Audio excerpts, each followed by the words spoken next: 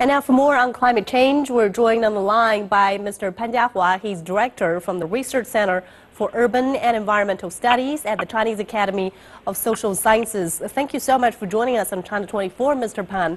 So it's been almost a year since the Paris Climate Change Conference. Can you tell us more on what China has done to tackle climate change over the course of this past year? Well, I think China has done a lot. Uh, to uh, to uh, fighting uh, climate change at a global level. As you know, China has been taking a leading role uh, in uh, formulating the Paris Agreement and to um, the ratification of the Paris Agreement. That all that together making the Paris Agreement taken into effect a few days earlier. I think that you know without the China's positive role uh, I think that the process could be much more uh, difficult. Mm-hmm. And uh, also, um, you know, for global effort to reduce carbon dioxide emissions, China's contribution to emission reductions has been very impressive and aggressive as well. as you know, the um, targets made is that by 2030, 20% um, non-fossil fuel energy share.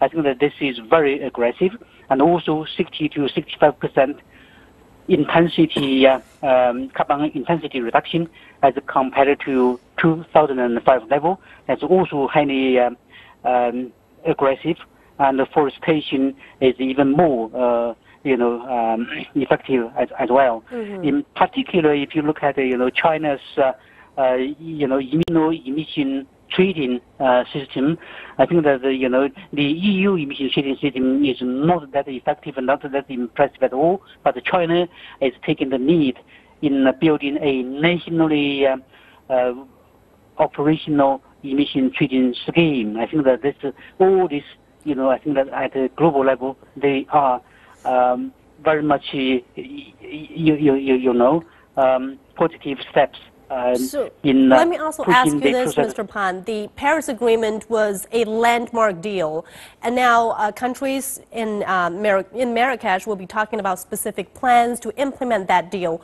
What exactly can we expect to come out of this COP22?